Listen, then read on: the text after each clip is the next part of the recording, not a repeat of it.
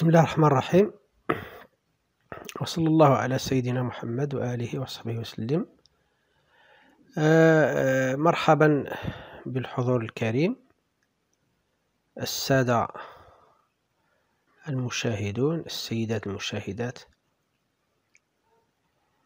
آه، مرحبا بطلبتنا الأعزاء. مرحبا بالأساتذة الكرام وبالحضور الكريم.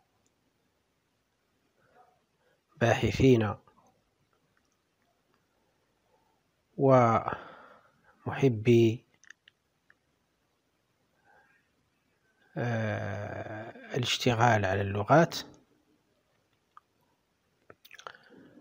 وهنا السياق هو اللغة العربية أو اللغة الفرنسية. مرحبا بكم في قناة الثقافة العربية والترجمة. دائما مع سلسلة الدروس دروس الدورة الثانية للمستوى الأول. مسلك علوم المهندس.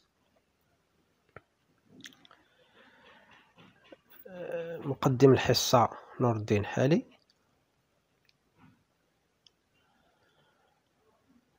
مبرز في الترجمة. ومدرس مادة الثقافة العربية والترجمة بمدينة الناظور إذا نحن كما قلت في الدورة الثانية عنوان المحور الدراسي مسارات الثقافة الوطنية itinéraire de la culture nationale الآن نحن في الوحدة الثانية. وبالتالي في الحصة السابعة لأن الحصة الرابعة الحصة الخامسة مخصص للفرد المحروس والحصة السادسة لتصحيحه. أما الحصة السابعة فهي حصة الحصة التي سنجريها الآن ويتعلق الأمر بتعريب une version donc le support est intitulé les coquelicots de l'oriental. Brico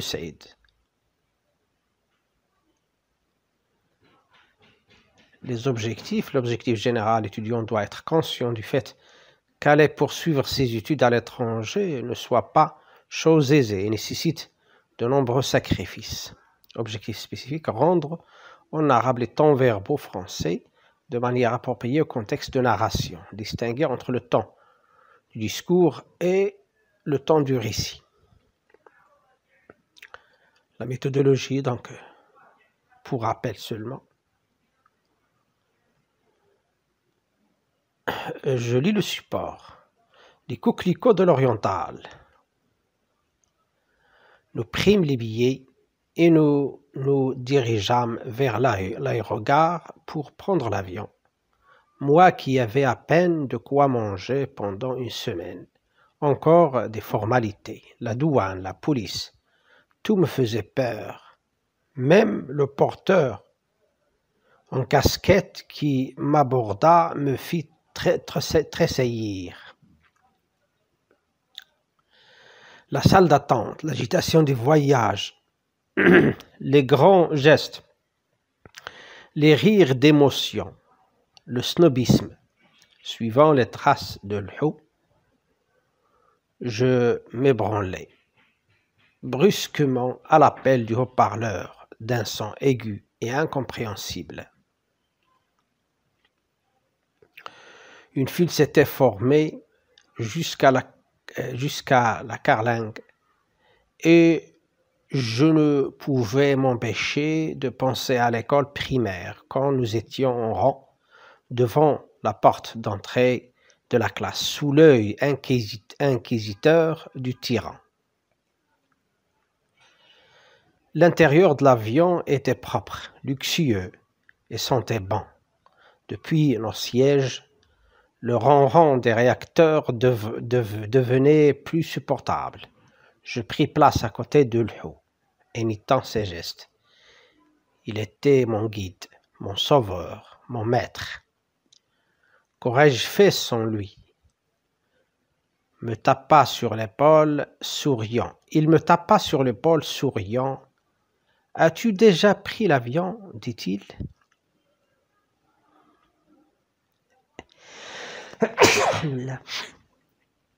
Eh bien non, aujourd'hui, ce sera mon baptême de l'air. Formidable le progrès. Remarque que je connais parfaitement le principe de l'action et de la réaction. On l'a étudié au lycée. Connais-tu Paris où nous allons vivre et étudier? Non, mais je sais que c'est la capitale de, la France, 8, 8 millions d'hommes. La tour Eiffel, quand même, je la connais un peu. Mais dis-moi, l'administration nous a-t-elle trouvé des chambres pour dormir? Hélas, non.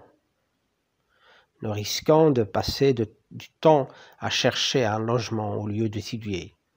D'ailleurs, nous sommes déjà en retard sur la rentrée des classes. Qu'à cela ne tienne, pensai-je tout bas. Les portes se fermèrent, puis l'avion s'ébranla brusquement. Ce 2 octobre 1968 était une nouvelle page de ma vie. J'allais sous peu m'arracher au pays, à ma tribu, à la terre qui gardait mes parents. Cet exil était une autre déchirure qui, qui je l'espérais, allait soulager mes peines. L'avion prit de la vitesse, fou et frémissant malgré son poids. Les paysages défilaient, défilaient à travers le hublot à une vitesse vertigineuse. J'avais enfin des ailes. J'allais me sauver, m'arracher à la misère. Au mouroir petit feu. Tout d'un coup, tout devint silencieux, fiérique. Sous moi le sol s'éloignait peu à peu. L'avion grimpant vers le ciel, c'était beau, reposant, inespéré. J'étais heureux.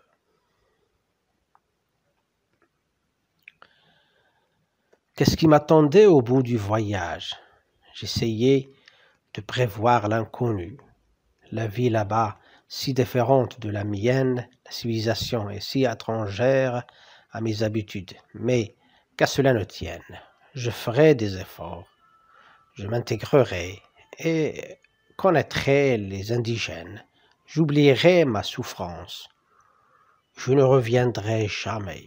Adieu maman, adieu papa, Adieu les miens, je ne vous oublierai jamais. Je resterai fidèle à votre bonté, votre générosité, votre rigueur. À Paris, le Hou me conduisit dardar à la maison du Maroc, encore sous le coup des souvenirs si proches de mai 68, après trois mois euh, après, trois mois de vie clandestine, juste droit à une chambre et pris enfin le cours des choses et le rythme effréné de Paris. J'étais venu pour préparer les concours d'entrée aux grandes écoles d'ingénieurs. La première année passa je fus admis en classe de, mathématiques spéciales, mais Paris était trop différent de ce que j'avais connu jusque-là.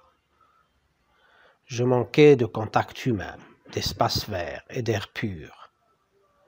Quant à m'engouffrer dans les souterrains du métro, c'était devenu pour moi le supplice, les difficultés matérielles aidant, la nouvelle vie agitée, et le changement brutal.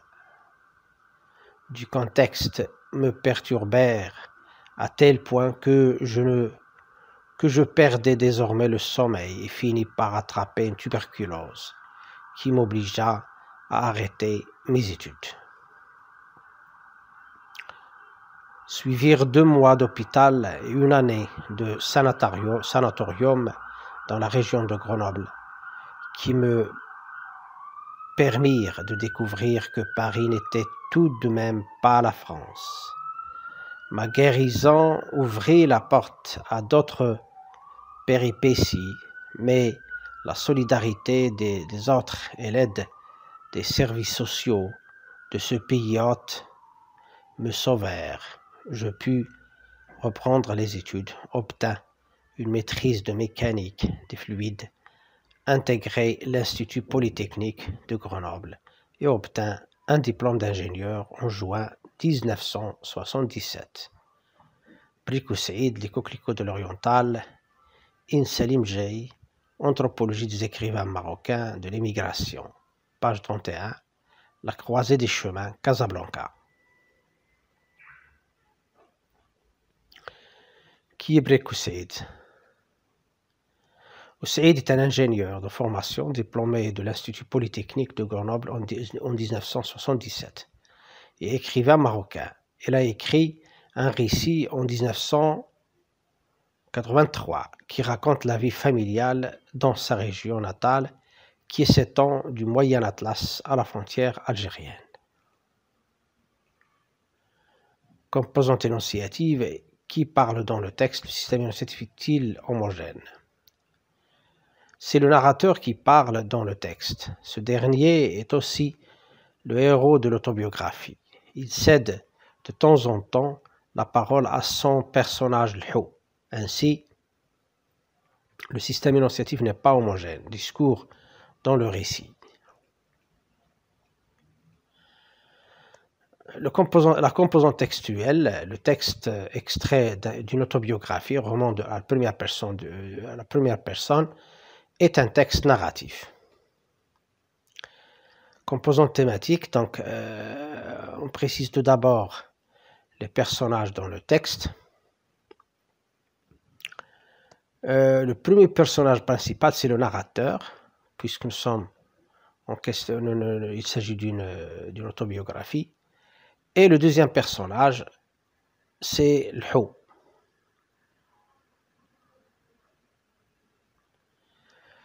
citer trois événements majeurs dans le texte. Événements et péripéties. Préparatif au voyage.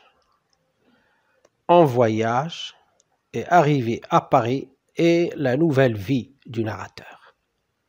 Ce sont les, points clés ou bien les moments clés de, de cet extrait du récit. cite deux indicateurs spatio-temporels, les jalons du, récit dans le texte. Les indicateurs spatio-temporels, les jalons du récit, le jalon temporel crucial est le 2 octobre 1968, date du départ en avion du narrateur en France. Et bien sûr, pour les lieux, il y a donc euh, le, spatial est variable.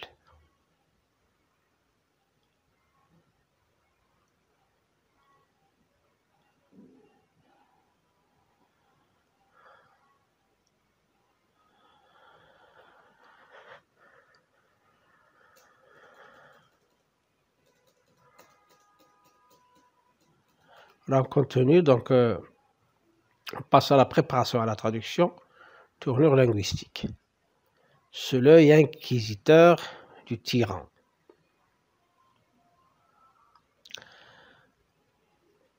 تحت مرأى ومسمع الطاغية المقصود هنا هو صورة يعني معروفة للمعلم في الستينيات وفي الخمسينيات المعلم كان يستعمل غالبا وطبعا أنا عايشت هذه المسألة كان يستعمل العنف مع طلبته. الآن مع تلاميذه. الآن الحمد لله هذه الظاهرة لم تعد موجودة لم تعد موجودة لكن كانت في في هذه المرحلة التي في بالضبط يتم فيها هذا هذا تتم فيها هذه الرواية. فإن فعلا آه، المعلم آه، يحق آنذاك أن أن أن أن ينعت بالطاغية le tyran.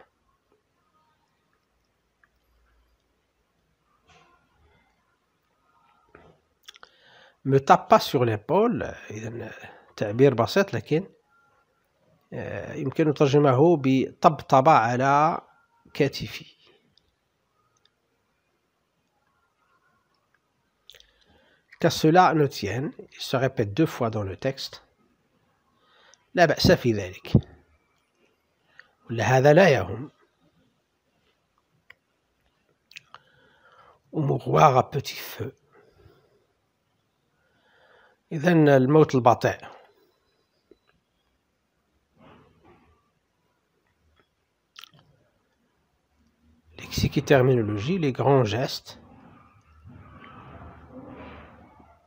Donc les grands gestes, la, la salle d'attente, etc. Les grands gestes, c'est sulukat raqiya.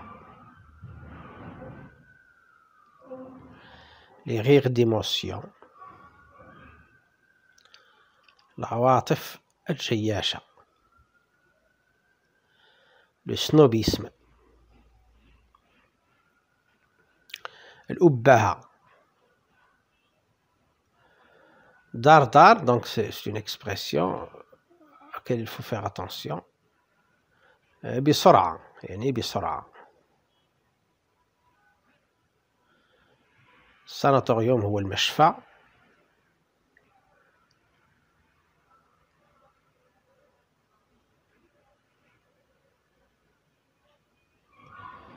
phénomène euh, morphosyntaxique, comment rendre en arabe les temps verbaux dans le contexte narratif du texte. Si la langue française est caractérisée par un nombre important de temps verbaux simples et composés, la langue arabe, quant à elle, utilise seulement deux temps, l'accompli, al-madi, et l'inaccompli, al-mudari. Mais cela ne veut pas dire que cette dernière n'est pas à rendre les temps français. En effet, elle s'approprie, euh, donc euh, la langue arabe s'approprie de particules qu'elle intègre dans des combinaisons pour exprimer ces temps. Par exemple, l'imparfait est généralement rendu par la formule kana al-mudari. D'autre part, il faut faire attention au discours dans le récit. C'est notamment le cas où le narrateur cède la parole à l'un de ses personnages, par exemple dans notre texte. Il me tape pas sur l'épaule, souriant. As-tu déjà pris l'avion? dit-il. Le passé composé est un temps de discours dans le récit. Voilà, donc euh, pour la traduction, donc commence par traduire le premier paragraphe. ظهور خشخاش الشرق اشترينا التذاكر واتجهنا صوب المطار لنركب الطائرة ولم يكن لدي من النقود إلا قدر ما أقتات به لأسبوع واحد. الشكليات مرة أخرى الجمارك الشرطة كل ذلك كان يخيفني بل وحتى الحمال. بقبعته جعلني أرتعش حين كلمني. قاعة الانتظار اضطراب المسافرين. السلوكات الراقية العواطف الجياشة الأبهة كل ذلك غريب علي وأنا أسير على خطى الحو فجأة وصل إلى مسمعي دعوة بواسطة المكبر بصوت حاد غير مفهوم.